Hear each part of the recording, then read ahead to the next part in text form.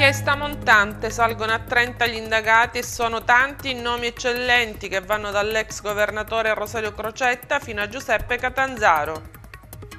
Illustrati oggi a Palermo i dettagli del contratto di servizio tra la regione siciliana e Trenitalia. Ciclo Amnesty e Open for Amnesty, due domeniche a Palermo all'insegna dei diritti umani. Buonasera, prima edizione di Media News, oggi è giovedì 17 maggio. Apriamo con l'inchiesta montante, salgono a 30 gli indagati e sono tantissimi i nomi eccellenti che vanno dall'ex governatore Rosario Crocetta fino a Giuseppe Catanzaro, amico e successore di Montante alla guida di Sicindustria e intanto arrivano le prime ammissioni. Salgono a 30 gli indagati nell'inchiesta Montante, l'ex responsabile legalità di Confindustria finito ai domiciliari insieme a cinque alti esponenti delle forze dell'ordine e dei servizi con l'accusa di concorso in associazione a delinquere finalizzata alla corruzione e sono tantissimi nomi eccellenti che vanno dall'ex governatore Rosario Crocetta fino a Giuseppe Catanzaro, amico e successore di Montante alla guida di Sici Industria. A Catanzaro è stato notificato un invito a comparire mentre un avviso di garanzia è stato inviato inviato a Crocetta, accusato di finanziamento illecito dei partiti e concorso in associazione a delinquere finalizzato alla corruzione. In sostanza avrebbe nominato in giunta due assessori sponsorizzati dall'imprenditore. Un elenco lunghissimo comunque quello degli inquisiti, nella lista anche gli ex assessori alle attività produttive Linda Vancheri e Mariella Lobello, che sarebbero state appunto nominate da Crocetta per accontentare Montante, e anche l'ex presidente dell'IRSAP, l'ente regionale per lo sviluppo alle attività produttive scrive Maria Grazia Brandara. Nel patto corruttivo tra Crocetta e Montante rientrerebbe anche un aiuto particolare ricevuto dall'ex governatore. L'industriale infatti avrebbe impedito che venisse reso pubblico da parte dei giornalisti un video dal contenuto scabroso attinente alla vita privata di Crocetta. Quest'ultimo però respinge le accuse. Il video scabroso mi dipingono come una pornostar, come se fossi Rocco Siffredi, ma dov'è questo video? La verità è che non esiste. È una bufala come al solito per denigrare la mia omosessualità. È falso come falsa è stata la notizia dell'intercettazione in cui avrei sentito le frasi contro Lucia Borsellino, ha detto all'Ansa l'ex presidente Crocetta. Emblematiche però anche altre vicende venute fuori dall'inchiesta che coinvolgono l'ex assessore Nicolò Marino e Giulio Cusumano. Montante sarebbe entrato anche in questo caso in possesso di un video scabroso sulla vita privata di Marino, che aveva espresso critiche su Confindustria e si sarebbe adoperato per diffonderlo. Stesso trattamento trattamento sarebbe stato riservato a Giulio Cusumano, che era al vertice dell'azienda trasporti siciliana, cioè l'AST, controllata dalla regione. Il manager si oppose alla cessione dell'AST a una microazienda controllata, la Ionica Trasporti, dove Montante aveva una partecipazione. Per convincerlo, Cusumano fu ricattato per il suo orientamento sessuale.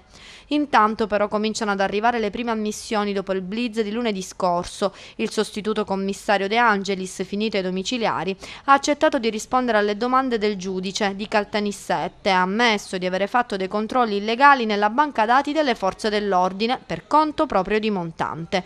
Ha però cercato di ridimensionare il tutto dicendo che quei controlli gli erano stati chiesti dal capo della sicurezza dell'ex presidente di Sicindustria Diego Di Simone, finito anche lui ai domiciliari. Controlli e dati che poi Di Simone avrebbe rielaborato, ha detto ancora De Angelis, per guidare le scelte di Montante. Per la procura comunque l'indagato non dice ancora tutta la verità.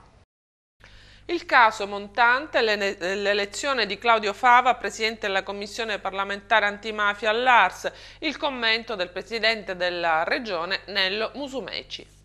Bisogna sempre essere attenti a non buttare il mostro in prima pagina. Eh? Giannuso è stato, è stato dichiarato dal Tribunale del riesame non aver avuto alcun collegamento con le organizzazioni mafiose ma abbiamo tutti detto che il mostro c'era.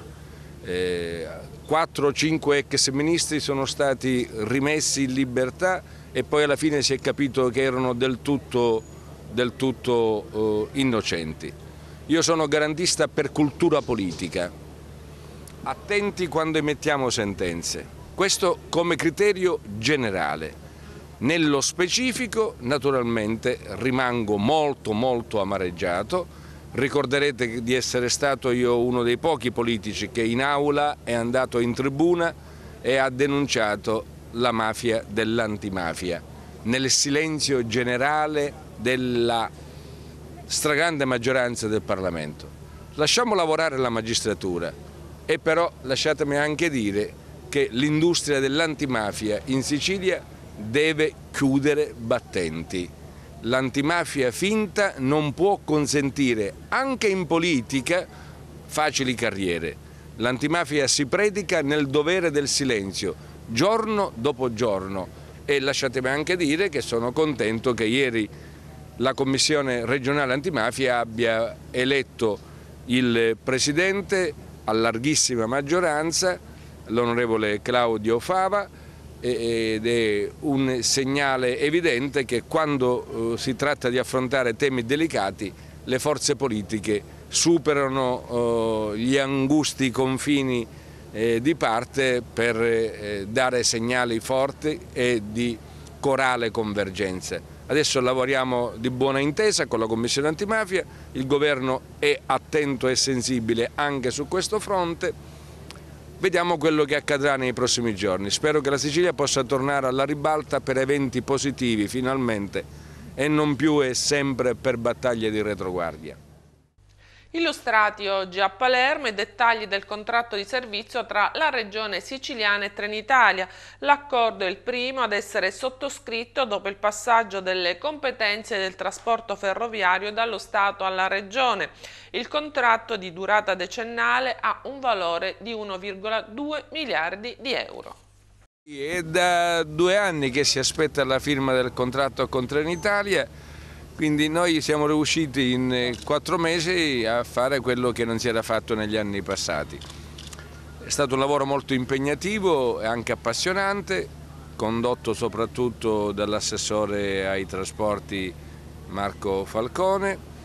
E Trenitalia ha compreso di avere adesso un nuovo interlocutore, esigente, eh, leale, eh, un interlocutore col quale confrontarsi per ottenere il risultato finale che è la qualità del servizio per i cittadini, la migliore qualità possibile. Noi ancora nel sistema di trasporti ferroviario siamo molto indietro in Sicilia, dobbiamo recuperare tantissimo terreno perduto, non solo sulla qualità del trasporto ma anche sulla rete, sulle infrastrutture che debbono essere messe in sicurezza prima ancora di pensare alle cosiddette alte velocità. Quindi intanto abbiamo assunto questo impegno con Trenitalia, un contratto decennale con un impegno di spesa significativo. Nei prossimi giorni incontreremo i vertici delle strutture, quindi di Rete Italia, per capire quali programmi di investimento hanno sulla Sicilia. Insomma, qui dobbiamo tornare a privilegiare il trasporto ferroviario non per penalizzare quello sul gommato delle autolinee, ma perché i due sistemi possano finalmente integrarsi. Oggi è una giornata eh, storica per la Sicilia perché si firma il primo contratto decennale della storia di questa regione, primo contratto di servizio che prevede investimenti importanti, quasi mezzo miliardo di euro di investimenti di cui 324 milioni in nuovi treni che corrispondono a 43 nuovi treni. Questa, di questi esemplari ce ne saranno 21, i primi arriveranno a, a novembre del 2019 sono treni assolutamente migliori che in questo momento abbiamo in Europa come operatori ferroviari, sono più scattanti, sono più confortevoli, le sedute sicuramente eh, più confortevoli, molto più tecnologici, eh, pieni di videosorveglianza, telecamere per aumentare la percezione della sicurezza a bordo dei nostri, eh, appunto, dei nostri, treni, quindi anche per i siciliani ci saranno più treni e soprattutto con questo contratto non ci saranno solo i nuovi treni ma ci saranno anche più servizi. È una interlocuzione continua con le associazioni nazionali e poi anche a livello territoriale con quelle che incontriamo nelle varie tappe del nostro show oggi eh, si sancisce eh, l'investimento che Trenitalia farà e questo contratto di servizio che ha firmato con, con la Regione Sicilia permette di eh, fare investimenti di 111 mila euro per 10 anni e questo eh, significa dare questo sviluppo e l'alta velocità in Sicilia che manca ormai da tempo. Noi siamo ex Keller e siamo ex operai di, un, di un'azienda una, che era Carini che costruivamo treni e per questo noi siamo qua, siccome siamo sempre stati innamorati di questo mestiere e giustamente quando vediamo queste cose qua a Palermo siamo i primi ad essere eh, partecipi al, anche all'innovazione. Cambiamo argomento, hotspot a Palermo, sinistra comune fortemente contraria, pronta anche a scendere in piazza per fermare l'ipotesi di un centro allo Zen per l'identificazione dei migranti. Ascoltiamo Giusto Catania, capogruppo di sinistra comune al Consiglio Comunale. Ma noi siamo decisamente contro eh, qualsiasi ipotesi di hotspot a Palermo o qualsiasi ipotesi di struttura che abbia le caratteristiche dell'hotspot senza chiamarsi hotspot perché pensiamo che sia un luogo di violazione dei diritti fondamentali della persona, sia un luogo in cui realmente non si garantisce la dignità umana e non è certamente un luogo di accoglienza. Palermo è una città dell'accoglienza, Palermo è una città che in questi anni ha costruito percorsi di grande protagonismo delle comunità migranti e Palermo è un luogo in cui, come abbiamo sempre detto, chi, chi sta a Palermo è un cittadino palermitano. E allora l'hotspot è in palese violazione a questi principi, per questa ragione ci opponiamo in via di principio a qualsiasi istituzione di hotspot a Palermo. Nello specifico pensiamo che l'ipotesi che è stata avanzata sia assolutamente obbrobriosa, eh, 7 milioni e mezzo di euro per costruire una struttura eh, apparentemente precaria, noi sappiamo benissimo che non sarà affatto precaria, durerà per tanto tempo, una struttura che eh, si presenta come un vero e proprio vulnus a un tessuto urbano della città che probabilmente meriterebbe altro e non certamente un, una di, di, di una tensostruttura. Eh, pensiamo anche che ci siano delle ragioni politiche profonde, quello è un luogo importante della città, anche dal punto di vista paesaggistico, c'è un vincolo, la sovrintendenza scrive che in quell'area eh, abbiamo delle testimonianze di eh, Canat, ah, abbiamo delle presenze di Canat e abbiamo delle testimonianze di ehm, eh, residui dell'età dell del rame. Io penso che sia inaccettabile che la sovrintendenza dia parere positivo all'installazione di hotspot in un luogo che abbia queste caratteristiche storico-paesaggistiche. Quindi ci sono un sacco di ragioni. La ragione eh, di, rispetto alla, al fatto che noi pensiamo che gli hotspot sono in palese violazione dei diritti umani eh, e anche rispetto al fatto che eh, il paesaggio, il territorio della città di Palermo non possa essere sfregiato da un'iniziativa di questo tipo. Per noi il tema non è nominalistico, eh, quello che stanno costruendo a Palermo o che intendono costruire a Palermo e noi ci opporremo in tutti i modi sia in Consiglio Comunale che nelle piazze eh, quello che stanno costruendo o che vogliono costruire è un vero e proprio hotspot. Lo possiamo chiamare come vogliamo rientra perfettamente nel, eh, nei canoni previsti dall'Unione Europea rispetto agli hotspot. Abbiamo delle pressioni evidenti da parte dell'Unione Europea che ha detto all'Italia che bisogna costruire nuovi hotspot. Tra questi è previsto appunto quello di Palermo. Eh, questa il termine chiamarlo hotspot chiamarlo Guglielmo o Alfredo non cambia niente, eh, rimane la sostanza e la sostanza è che quello è un luogo di violazione dei diritti fondamentali della persona. In una zona con criticità assolute? Ah, noi pensiamo che appunto diciamo, eh, riteniamo in via assoluta che l'hotspot non vada fatto mai non vada fatto mai in nessun luogo, non solo a Palermo, perché l'hotspot, la filosofia dell'hotspot è una filosofia contraria alla tutela delle persone e alla tutela dei migranti. Eh, è un, una razio di trattenimento delle persone eh, che criminalizza le persone, per questa ragione siamo contrari all'hotspot in qualsiasi luogo. Il prossimo 23 giugno alle 21 ai cantieri culturali alla Zisa a Palermo appuntamento con la quarta edizione del Festival della Solidarietà, un evento benefico che prevede diversi momenti di intrattenimento dalla musica alla moda, dal cabaret all'enogastronomia. Sul territorio siamo, siamo, molto presenti con delle manifestazioni, tra cui questo festival eh, per la solidarietà, eh, dove verranno coinvolti vari artisti locali e non, eh, ma non ci sarà competizione appunto perché è tutto basato sulla solidarietà per aiutare i casi come eh, il caso di Giulia Montera e non fa spegnere i riflettori sul caso di purtroppo drammatico eh, sulla malasanità. Eh, niente, in pratica noi abbiamo avuto oh, una forte presenza eh, con il patrocinio di Palermo, aiutati dal patrocinio di Palermo, quindi abbiamo la sigla del logo del patrocinio di Palermo. In questa quarta edizione eh, noi eh, in passato e in attivo vantiamo eh, anche ehm, il fatto di aver fatto 14 manifestazioni pubbliche, eh, 9 convegni con tematica eh, portati a termine, 18 progetti, di cui 3 in fase di ultimazione, tra cui c'è anche questo bellissimo festival che ci vedrà coinvolti ai cantieri culturali della Zisa. Vi aspettiamo in tanti per una causa giusta. Sarò insieme ad Antonella Giotti il presentatore di questa kermesse di artisti di vario genere. Mm, si esibiranno gratuitamente, quindi assolutamente iscrizione gratuita, poi ci saranno dei numeri che passeranno in sovrimpressione e anche una mail per iscrizioni entro assolutamente il 30 maggio. E una chicca che volevo dare ai nostri telespettatori è il fatto che fra le scuole di ballo ci sarà l'Accademia di Enzo Paolo Turchi e Carmen Russo e chiaramente poi tantissime altre scuole, tantissimi artisti, come ho già accennato. Quindi iscrivetevi numerosi, vi aspettiamo per questo Festival della Solidarietà il 23 giugno. Ci saranno tanti momenti dedicati al canto, in questo caso direttore dei casting è Baldo Brandi, è dedicato alla danza, come ha detto il mio collega presentatore Alex Borghini, è dedicato anche al cabaret, alle imitazioni, eh, perché in questo periodo beh, ridere fa sicuramente bene a tutti tutti. Eh, ma ci sarà anche il momento delle sfilate di moda che partiranno dai baby ad arrivare a modelle professioniste, verranno presentate le nuove collezioni, gli abiti da spose, accessori e gioielli. In questo caso invece il direttore artistico è Tiberio Cantafia.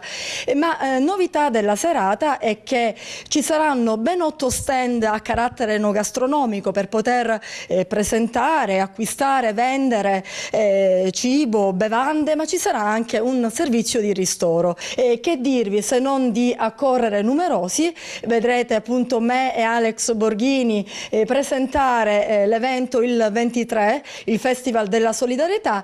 Ricordiamo che non c'è assolutamente competizione, non si gareggia, ognuno di noi metterà la propria professionalità, la propria arte a disposizione eh, per aiutare, per far del bene e soprattutto eh, io l'ho vissuto sulla mia pelle, far del bene ti aiuta a stare bene, quindi venite, venite numerosi. Polvere da palcoscenico, omaggio al cabaret di Ciccio Piombo, un cortometraggio che intende far conoscere al pubblico di oggi un modo più garbato di far ridere le interviste. Il cabaret di un tempo è quello che noi generizziamo in che senso? Oggi io ritrovo un cabaret molto diverso, soprattutto molto volgare, mi dispiace questo, perché io voglio ricordare il nostro cabaret al, al Madison, che era con Gianni Nampa, con Mimo Cuticchio, con Giorgio Libassi, Pippo Spicuzza, Gero Collovà e tanti altri, Renzino Barbera, questo era il vecchio cabaret. A me mi hanno definito oggi eh, polvere da palcoscenico, perché me lo ha insegnato questi nostri grandi maestri, quindi Renzino, Mimo Cuticchio, Raffaele Sabato e così via. Polvere da palcoscenico. Addirittura a Catania mi hanno definito eh, diavolo da palcoscenico e questo mi onora. Io sto, sono rientrato di nuovo a Palermo e devo ringraziare Daniele Pitarresi che mi sta dando una grande mano. Devo ringraziare Roberto Romano, il mio manager e soprattutto direttore artistico. Io sto rientrando a Palermo con un teatro e quindi metto da parte un po' il cabaret, ma è teatro comico teatrale, dove si chiama Portiere si nasce, quindi è tutta la storia di un palazzo. Mia dolcissima signora, io ti ringrazio e dover ringraziare Tele One che mi sta dando questo piacere. Grazie. Il progetto nasce come cortometraggio della durata circa di 15 minuti. Il titolo è proprio Gio Ciccio, il cabaret non muore mai, polvere da palcoscenico. Appunto volevo omaggiare questo grandissimo personaggio, maestro, il nostro maestro Ciccio Piombo, che con lui, insieme a lui, abbiamo anche un altro attore cabarettista che è Giovanni Patti. Quindi questo cortometraggio parla della vita odierna di questi due cabarettisti palermitani per ricordare proprio il cabaret vecchio stile. Perché veramente è un, un cabaret sano, senza, senza parolacce, diciamolo pure, dove fa divertire proprio la gente. Volevo ricordare che a proposito questo sabato pomeriggio alle ore 16 saremo presenti al Cinema Ambassador di Villabate dove ci sarà un po' una, una, piccola squadra e sarà presente il nostro maestro Ciccio Piombo con Giovanni Patti. E cosa accadrà al cinema? Eh, questo non ve lo posso svelare, quindi eh, io vi dico semplicemente seguiteci sulla pagina Facebook di Gio Ciccio o Daniele Pitarresi e vi volevo ricordare, attenzione, che abbiamo, adesso lo svegliamo, diamo l'esclusiva al nostro Teleguande che ci segue e mi ha sempre seguito nelle mie storie, nei vecchi progetti, eccetera, eccetera.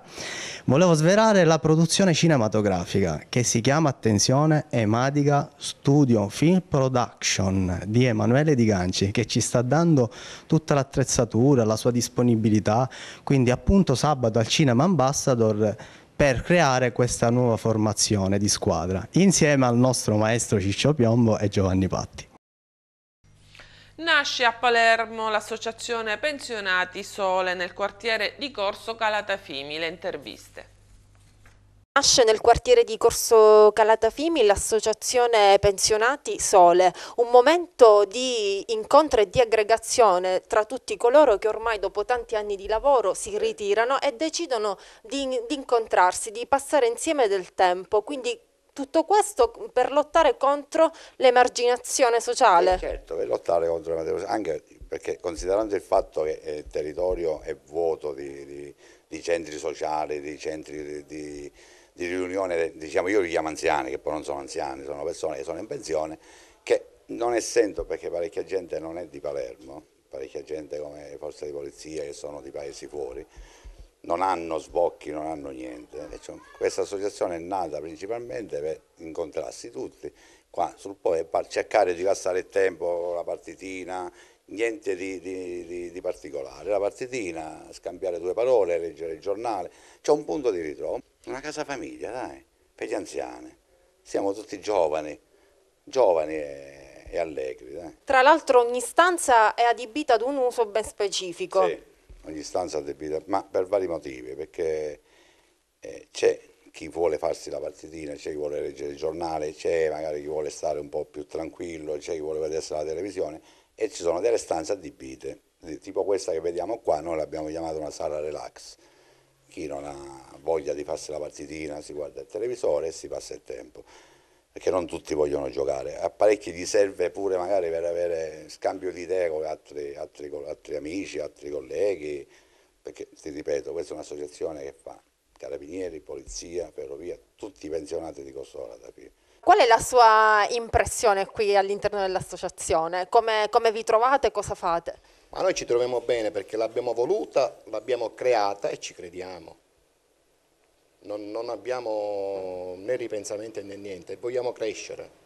Io sono, io sono contento per questi soci, insomma, siamo, ci stanno interessando questi colleghi tra i carabinieri che hanno fatto questa iniziativa di fare questa, questa associazione perché tutti i pensionati sono contenti e noi ci siamo iscritti dietro la responsabilità di tutte quante, che nessuno comanda, che siamo tutti uguali. Quindi siamo contenti che tutti si iscriveranno. Ma come si è ritrovato in mezzo a tutti loro? E mi trovo bene perché quasi quasi che loro mi temano, perché io essendo il meno giovane della comitiva, e quindi se dico qualche cosa loro mi ascoltano. Ciclo Amnesty e Open for Amnesty, due domeniche a Palermo all'insegna dei diritti umani. Il gruppo Italia 243 di Amnesty International torna ad organizzare i due eventi a sostegno delle campagne di tutela dei diritti umani in occasione dei 57 anni dalla nascita del movimento. Torna il ciclo Amnesty, la consueta pedalata in giallo organizzata da nove anni a questa parte dal gruppo Italia 243 di Palermo di Amnesty International ed il prossimo 27 maggio gli appassionati di golf potranno cimentarsi nell'Open for Amnesty, torneo organizzato come da tradizione dal Golf Club Palermo Airoldi. Le due iniziative si inquadrano tra centinaia di eventi che in tutta Italia i gruppi di Amnesty International organizzano per celebrare la nascita del movimento fondato da Peter Benenson nel 1961. L'appuntamento per gli appassionati della bici è fissato alle 9.30 di domenica prossima al Parco Uditore. Gli organizzatori invitano a registrarsi utilizzando il link presente sul sito amnesty243.it oppure presso il gazebo che sarà allestito presso il parco. La registrazione dà diritto alla copertura assicurativa ad alcuni gadget offerti dai partner della manifestazione. Il comitato organizzatore, come di consueto, consueto invita i partecipanti ad indossare un indumento giallo, il colore di Amnesty. La pedalata è aperta ai disabili. Il percorso attraverserà alcune arterie della città, via Leonardo da Vinci, via Uditore, via Le Michelangelo, la rotonda di Viale Regione Siciliana, via della Libertà, via Notar Bartolo, via Terrasanta, via Dante, via Zisa per poi tornare al Parco Uditore. Il 27 maggio alle 9.30 torna anche l'Open for Amnesty, la consueta gara di golf che i soci del Golf Club Palermo Villa Villa Eroldi organizzano devolvendo le quote di iscrizione al movimento. È questa un'occasione per i golfisti di mostrare concretamente il sostegno alle azioni di tutela dei diritti umani svolte da Amnesty International. Ed è tutto, grazie per essere stati con noi, arrivederci alla seconda edizione.